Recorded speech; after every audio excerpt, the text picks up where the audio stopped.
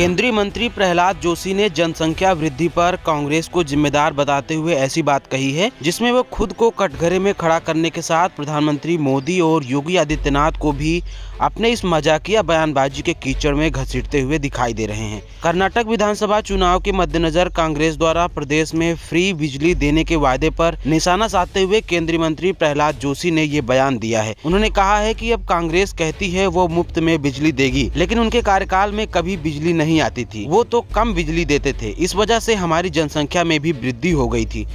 अब कम बिजली देने की वजह से जनसंख्या वृद्धि हो जाने की इसी लॉजिक पर प्रहलाद जोशी को लोग ताने मार रहे हैं। लोगों ने कहा है, क्या कम बिजली के अंधेरे के उत्पाद आप भी हैं? और पाँच से ज़्यादा भाई बहन वाले योगी मोदी भी कांग्रेस की बिजली ना देने की गलती के परिणाम। मोदी पत्रकारिता के जमाने में निष्पक्ष रिपोर्टिंग किसी चुनौती से कम नहीं। हमारी हौसला अफजाई के लिए वीडियो को लाइक, शेयर और चैनल को सब्सक्राइब करना न भूलें।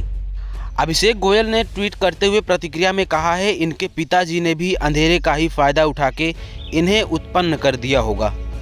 सस्ता नशा कर लिए होंगे।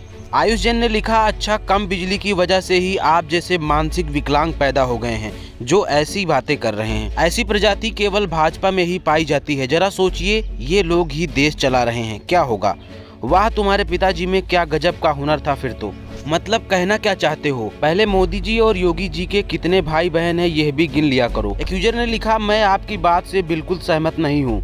क्योंकि अगर कांग्रेस ने पूर्ण बिजली दे दी होती तो आपके जैसे और रवि किशन जैसे महान विचारों को हम कैसे देख और सुन पाते? जैसे आपने कहा, जनसंख्या वृद्धि में कांग्रेस के कम बिजली का योगदान है, वैसे ही रवि किशन ने कहा, चार बच्चों में कांग्रेस का योगदान है।